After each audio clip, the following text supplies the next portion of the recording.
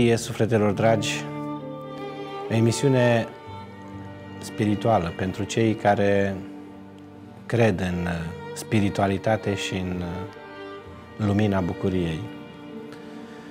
Tema aleasă nu este una întâmplătoare, este una specială care vorbește despre defectele pe care mulți dintre noi le avem și le moștenim, acelea de a bârfi, de a judeca și de a găsi căi de comunicare autodistructive pentru noi, dar și pentru semeni. Este foarte mare adevăr în cuvintele pe care un mare sfânt le spunea atunci când uh, îi învăța pe ucenici să nu-și apropie și niciodată pe oamenii bârfitori să nu-i țină aproape, pentru că nu doar că le vor îmbolnăvi mintea, le vor otrăvi și sufletul. O mare problemă pe care noi oamenii o avem este astăzi legată nu neapărat de partea materială, pentru că știu că avem îngrijorări, avem stări de evoluție și involuție materială sau spirituală, avem griji multe, toate acestea ne preocupă mai mult sau mai puțin, însă, din păcate, lăsăm liber uh, vorba care poate să ne ducă într-o umbră a ceea ce numim noi calea evoluției vieții personale. Bârfa, de altfel, așa cum citim pe micul ecran, este cea care blochează viitorul oricărei persoane care dorește să se afirme să-și împlinească sau să-și realizeze un proiect pe care, cu siguranță, fiecare om care crede în idealul său și l-a propus să-și îl împlinească. Astăzi vedem mai multe categorii de oameni care sunt împărțite pe mai multe falii, să zic, ale societății. Și una dintre categoriile, din păcate, promovate și susținute atât în media, dar în mediul uh, social, virtual sau cum vreți să-l numim, inclusiv în cel clerical, din păcate, al nostru, este bârfa sau sunt bărfitorii. Bărfitorii, de fapt, fac parte din categoria oamenilor care nu spun adevărul. Pentru că adevărul este unul singur, în percepția oamenilor care suferă de această boală a minții, pe care nu și-o pot controla și a gurii, pentru că mintea este cea care transmite gândurile spre gurița noastră, care le transformă în realitate. Acești oameni, din păcate, nu vor reuși niciodată să se realizeze sau să-și împlinească visuri sau idealuri pe care și le-au propus, pentru că prin cuvintele de joasă vibrație și cuvintele care atrag cu ele ura, vrăjmășia, dușmânia și dezechilibru celor care ascultă, își deschid în portalul vieților o gură neagră sau o gaură neagră a propriilor existențe. Cu siguranță cunoașteți oameni bârfitori. Cu siguranță cunoașteți oameni care n-ar trebui să fie în această lume sau să se regăsească în această lume și mă refer chiar la colegi, preoți, chiar dacă aparțin de altă biserică, care și-au propus în a denigra sau a bârfi sau a judeca să facă un scop al vieții lor.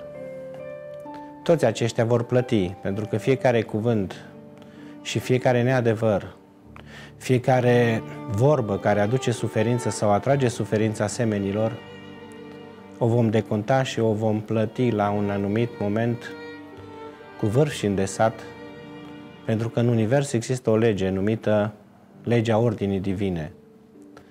Va mai vorbi despre ea, va mai vorbi despre aceste legi nescrise de care, din păcate, prea puțini oameni vorbesc și una dintre acestea se referă în mod special la oamenii care, atunci când fac anumite lucruri sau emit anumite gânduri pe anumite frecvențe nu se gândesc la consecințele care le pot atrage atât asupra lor, dar și asupra celor care sunt victime colaterale ale răutății lor.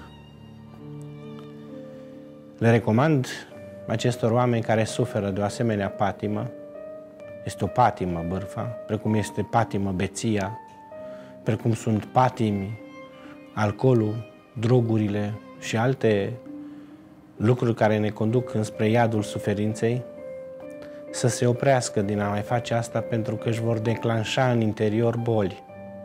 Și vă voi explica și vă rog să fiți atenți care sunt bolile pe care le atrag bărfitorii în viața lor și care sunt consecințele ce sunt atrase de această karmă neagră a vieții pe care ei și-o atrag prin ceea ce emit, prin ceea ce vorbesc, de fapt prin ceea ce gândesc și prin ceea ce scot în fiecare zi pe gură, înveninând sau aruncând cu venin în stânga și în dreapta cu păreri nereale sau neadevărate despre persoane pe care poate nici nu au avut ocazia vreodată să le cunoască. Primii care vor suferi vor fi rinichii. Toate bolile legate de bârfă sunt legate de rinichi și în mod special bolile legate de inimă și gât. Deci trei organe importante din corpul nostru vor fi afectate și sunt afectate fără poate ca să realizați acest lucru. De multe ori aveți senzația sau tendința de a spune că vă doare spatele. Să știți că durerea de spate este provocată nu neapărat de oboseala fizică pe care o aveți, ci de frecvența cuvintelor joase pe care le-ați folosit sau la care v-ați conectat pentru a judeca sau a bărfi o persoană sau a o denigra într-un anumit fel.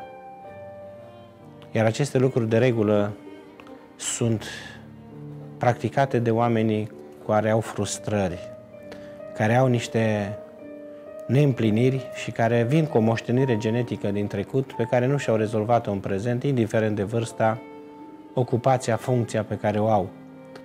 Am întâlnit, din păcate, mulți preoți bârfind, oameni care ar trebui să spună adevărul și care poate din răutatea sau dezinformarea pe care o dețin ajung la acest nivel foarte mic și scăzut al bârfei care, care de fapt pe tine ca om te conduce într-o zonă de uh, umbră și nu numai, te va scoate din ceea ce numim noi aura binecuvântării sau puterii pe care tu poți să o ai față de cineva pentru a-l îndrepta.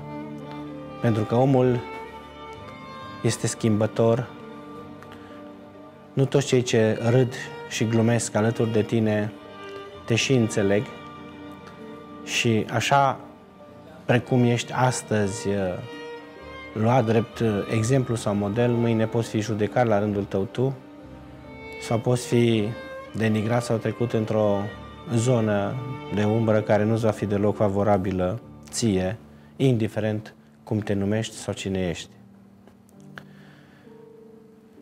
Au întrebat și m-au întrebat mulți credincioși uh, cum pot să se izbăvească de această patimă. Este o patimă, repet. Bârfa, să știți că se vindecă atunci când ți-ai vindeca mintea. Și cum ne dăm seama dacă mintea noastră este bolnavă? Am mai spus-o de mai multe ori, o minte bolnavă este cea care și-a pierdut răbdarea, este cea care nu poate să dețină controlul gândurilor și a vorbelor. Observăm frecvent oameni care se înfuriază sau se înfurie sau au furii neexplicabile. Întâlnim frecvent oameni care prin modul lor de a se exprima, prin tonul ridicat sau furia pe care o exprimă, emit judecăți greșite și aceste cuvinte nu fac altceva decât să distrugă ceea ce este bun. Ce este bun în tine este darul pe care Dumnezeu ți l-a dat ca tu, prin anticorpii pe care îi ai în organism, să te poți feri de orice boală care te-ar putea atinge, iar bolile sunt împărțite și ele pe mai multe categorii.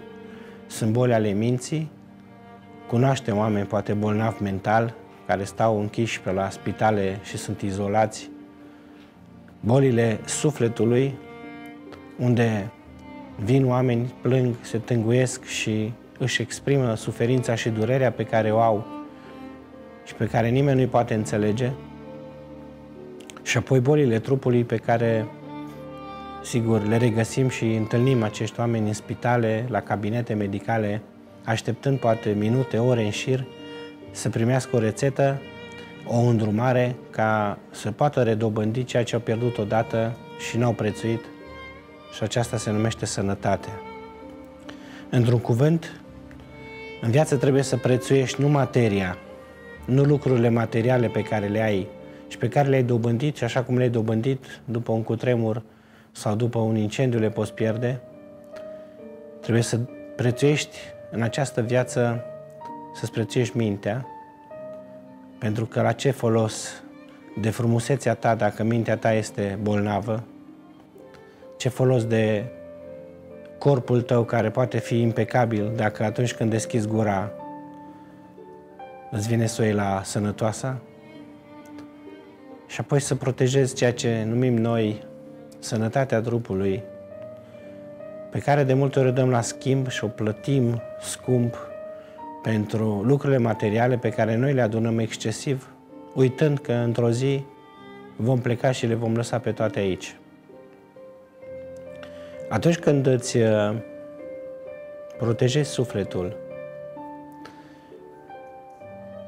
răspund întrebărilor acestea, cum îmi pot proteja sufletul sau cum îmi pot păstra starea de echilibru, starea de echilibru se poate păstra în momentul în care tu ai hotărât, tu, iubite creștine, să lași garda jos și să-ți iei așa un mic concediu la problemele pe care le ai, pentru că nu vor schimba și nu vei schimba tu lumea și nici nu vei reuși să schimbi mentalitatea, mintea și viața unor oameni care s-au obișnuit, din păcate, să trăiască în mocirla, în neputința și suferințele pe care singuri și le mențin și le hrănesc în viața lor.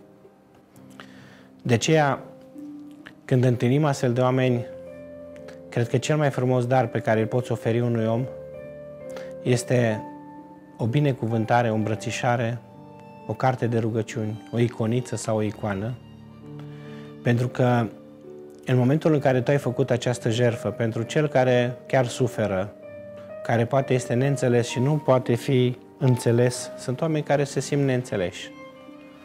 Sunt oameni care se simt marginalizați.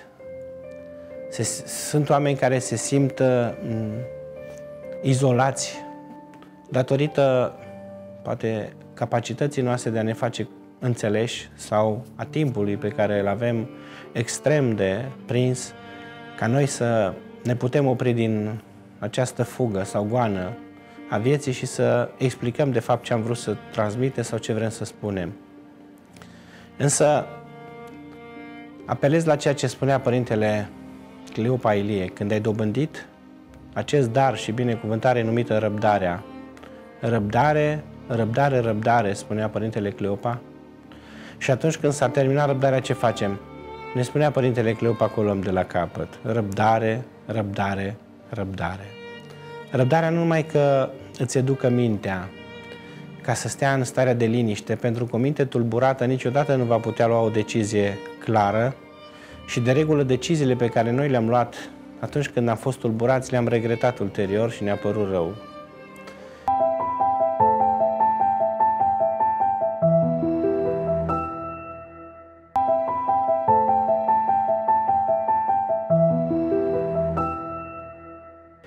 Putem trece de la starea de furie la starea de plâns. Putem trece de la starea de plâns la starea de râs. Pentru că am întâlnit și oameni care au râs și au plâns în același moment.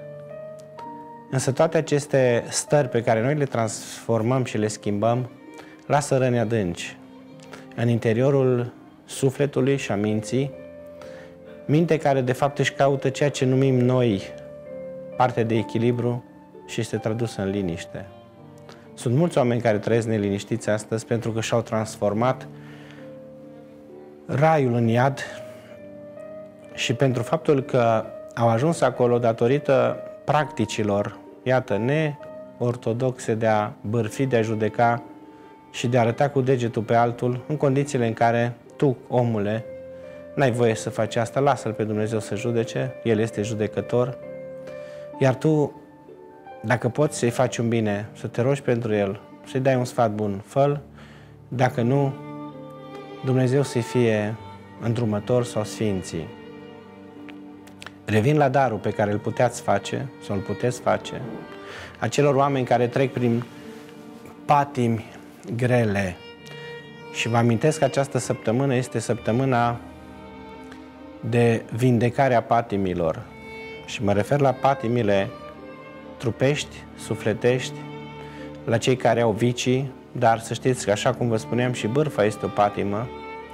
De aceea subiectul ales astăzi este unul special pentru că vrem să tratăm și aceste situații pe care, din păcate, medicii nu le pot trata sau nu au un medicament anume pe care să-l iei și de mâine să nu mai bârfești, să fii un om uh, echilibrat și să nu mai ai această plăcere de a comenta, de a împărți și de a cântări felul în care unii sau alții se descurcă sau își organizează viața. Pentru că este săptămâna patimilor. Vă spuneam că cel care izbăvește patimile omului este Sfântul Bonifatie. Sfântul Bonifatie este vindecător al patimilor și al durerilor sufletești, la care, iată, nu putem veni cu medicamente să le tratăm. Dacă ar fi așa de simplu să tratezi beția, cred că ar fi farmaciile pline de oameni care ar cumpăra pastile pe care cei care le-au cumpărat le-ar ingera și de la următorul ceas, după ce și-ar face efectul, n-ar mai fi bețivi. La fel cum nu se pot vindeca aceste patimi urâte ale uh, dorinței de a deveni mai important decât e cazul și a orgoliilor pe care unii oameni le au și nu le pot depăși. Să știți că vanitatea, orgoliul, bârfele, gândurile negative ne distrug nu numai mintea, ne distrug perspectiva de a gândi și de a evolua, pentru că o minte obosită, o minte care nu este lucidă, nu va putea lua niciodată decizii care îi vor putea fi de folos și nu va putea lua niciodată decizii care să influențeze într-un mod pozitiv viața, ce din contră, deciziile pe care le va lua în momente de supărare vor fi decizii autodistructive și care vor conduce spre un drum greșit, ce nu îi va fi prielnic în viitorul pe care fiecare om dorește să și-l construiască.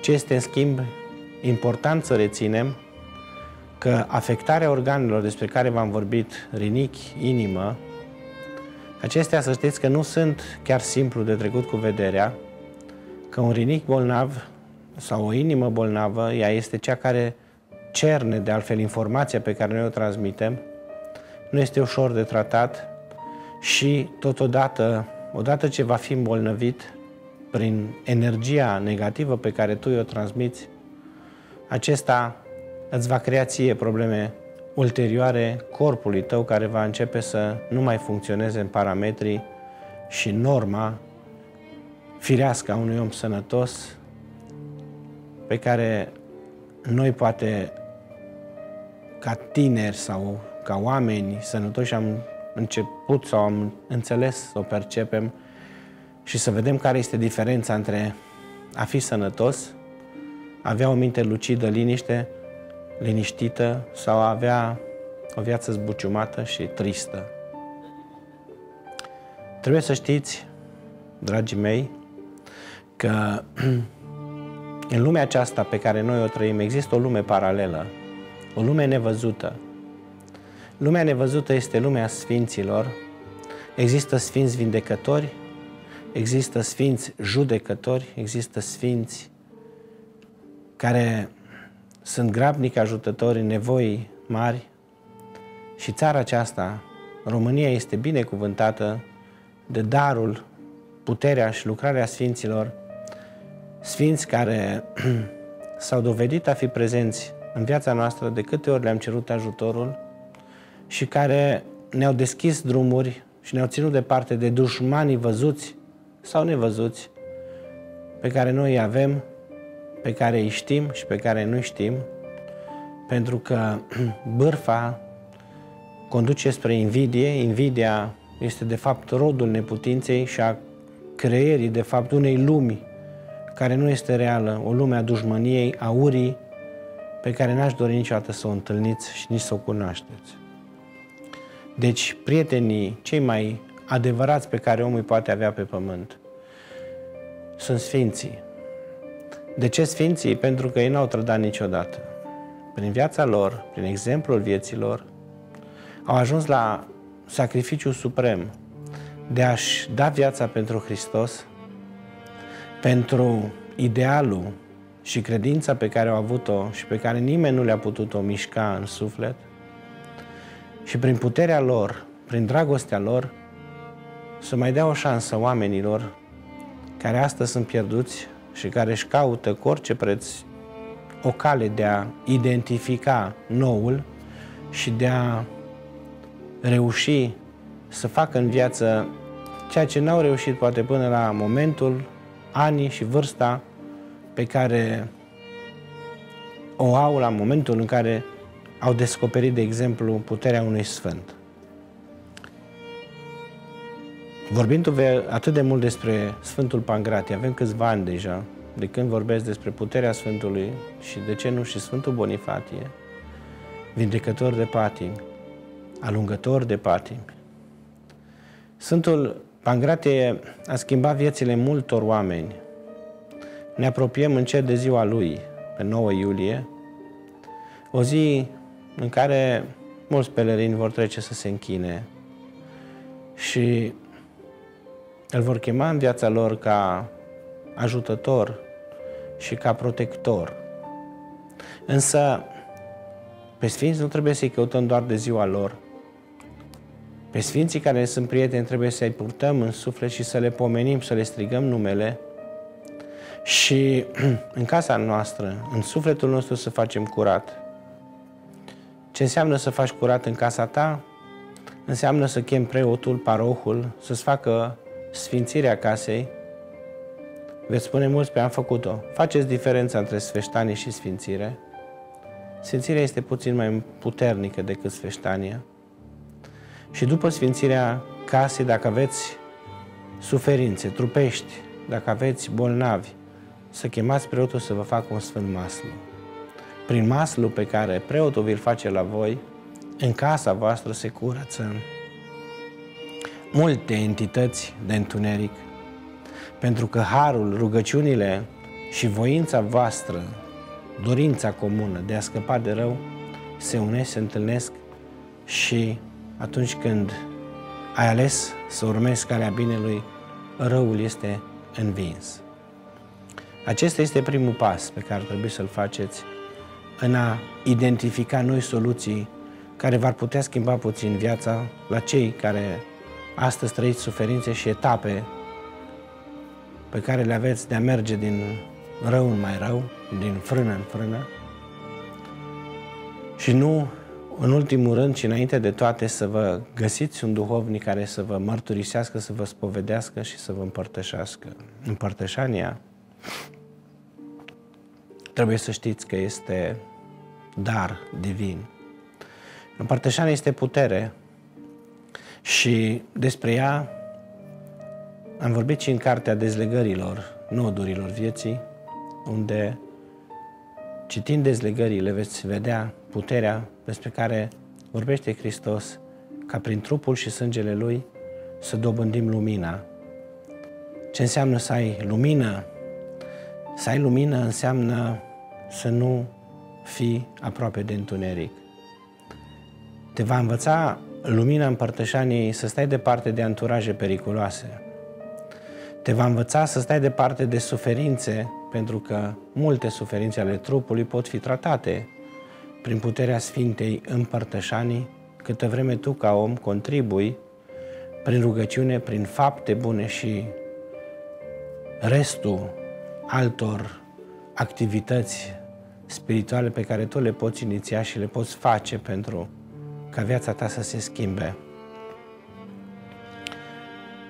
Trebuie să știți, iubiții mei, că oamenii nu se întâlnesc întâmplător, că fiecare om are un drum al său și fiecare moment al vieții tale poate fi mâine sau poate fi peste o oră sau poate fi peste o săptămână. Important este să-L rogi pe Dumnezeu și pe Sfinți să te conducă pe acel drum care te va ajuta să-ți identifici nevoile tale și să devii un om puternic. Nu cred că există om pe acest pământ pe care să-l întreb dacă vrea să fie fericit și să spună că nu. Așa cum nu există un om bolnav pe care să-l întreb dacă ar vrea să se facă bine și să răspundă cu nu. Vindecările minții și a sufletului sunt importante înainte de cele ale trupului. Când mintea va fi vindecată de teamă, de frică și va încerca să înțeleagă că Dumnezeu este cel care vindecă, medicul este doar cel care pansează, când va încerca să facă diferența sau să înțeleagă că de fapt noi suntem trup și spirit, suntem materie și spirit, că trebuie să dăm cezarului ceea cezarului, dar și lui Dumnezeu ce este al lui Dumnezeu. Când vom ajunge la această maturitate și înțelepciune, vom începe să devenim valoroși, importanți și să ne dăm seama că nu am trăit degeaba pe pământ. Sunt oameni care trăiesc degeaba. Sunt oameni care nu știu de ce trăiesc, se bucură de lucrurile materiale pe care, așa cum le au, le-au obținut, așa le și pierd. Nu dau doi bani pe valoarea lor, uh, pe familie sau pe sănătate și ajung la momentul la care să-și dea seama că le-a trecut viața pe sub nas și atunci când trag calculul nu au realizat nimic. Amintesc celor care poate n-au urmărit emisiunea că începând cu data de 7 iulie se vor citi dezlegări pentru cei care au suferințe. Suferințe trupești pentru cei care nu pot avea prunci, pentru cei care sunt singuri. La bisericuța din Voluntari Pipera, Biserica Sfânta Maria, această zi fiind de altfel înaintea zilei de 9 iulie, ziua Sfântului Pangratie. În zilele acestea de rugăciune, orice suflet, orice om care are o durere și o suferință și o poate spune, fie în scris, să trimită o scrisoare, fie prin modul lor de a comunica cu Dumnezeu rugându-se, noi, de altfel rugându-ne împreună cu dumneavoastră cei de acasă, și cei care veți dori să contribuiți la calea Sfinților, pentru că vor fi aduși șapte Sfinți din șapte colțuri ale lumii, ce vor fi prezenți la cea mare sărbătoare a Sfântului Pangratie, care multe vieți a schimbat și pe mulți oameni i-a întors din rău înspre bucurie. De ceea cei care doresc să contribuie pot să o facă și le mulțumesc în avans. Vă aștept cu drag. De câte ori veți avea ocazia să treceți, să vizitați acest mic edificiu al uh, nostru, Biserica Sfânta Maria, din Voluntar Pipera, unde se află moaștele Sfântului Bonifatie și a Sfântului Pangratie, a Sfintei Agnia, a Sfintei Lucia, Sfântului Emidio și a Sfinților Apostoli. Și trecând pe aici, să vă spuneți dorința ca nu după multă vreme să vă puteți întoarce să mulțumiți. Nu veniți la mine, eu sunt un fir ruginit. Puteți veni la Sfinții care vă așteaptă și prin rugăciunile voastre să vă îndrepte viața. Acolo unde veți întâlni oameni bârfitori, să învățați că nu e bine să bârfească și să judece, să lase pe Dumnezeu judecător, iar noi să încercăm să ne păstrăm uniți în rugăciune, așa cum v-am obișnuit, ca la final să spunem o rugăciune rostind-o împreună cu toți cei de acasă. Numele Tatălui și a Fiului și a Sfântului Duh, Tatăl nostru care ești în ceruri, sfințească-se numele Tău, vie în părăția Ta, facă-se voia Ta precum în cer, așa și pe pământ. Pâinea noastră, cea de toate zilele, dă-ne nouă astăzi și ne iartă nouă greșalele noastre, precum și noi iertăm greșiților noștri și nu ne duce pe noi în ispită, ci ne izbăvește cel rău, ca este împărăția și puterea și slava a Tatălui și a Fiului și a Sfântului Duh. Amin. Fiți binecuvântați, Dumnezeu să vă ajute și Sfinții să vă crotească viața. Vă îmbrățișăm cu drag și vă așteptăm la noi.